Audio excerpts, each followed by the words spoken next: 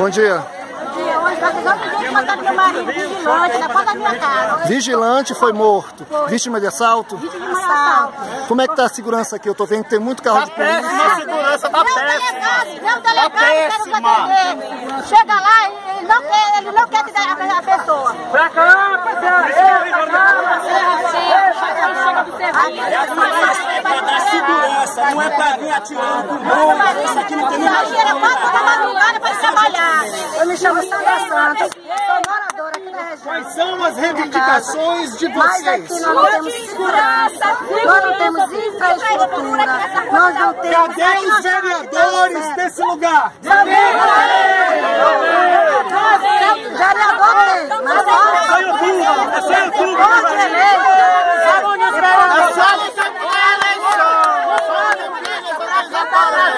A gente tá aqui, a gente vai passar no fórum, a gente vai passar no fórum. O Mas nós não temos direito à educação. lá não tem prefeito. Nem falar que é não tem prefeito lá. A gente aqui, o João Coutrinho. Eu não quero mais. Então assim ninguém não tá. Nós não temos direito na educação, nós não temos direito no lazer aqui. Entendeu? Na hora que ele chegar, ele nós libera a avenida. Mas o que foi que eles prometeram? Porque lá na a gente estava esperando a polícia. Sabe quem é? Sabe quem apareceu? O show, o show. Prenderam os manifestantes, levaram todo mundo pra delegacia. É um tiro de borracha de nós para querer matar nós. E através de nós que eles são reeleitos.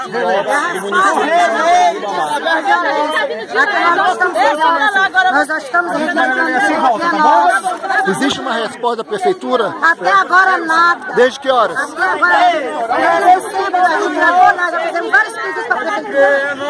segurança. É, Se não é, tivesse, é. eles acham que não tem o terreno? gostei. Eu sou até capaz de dar um pedaço.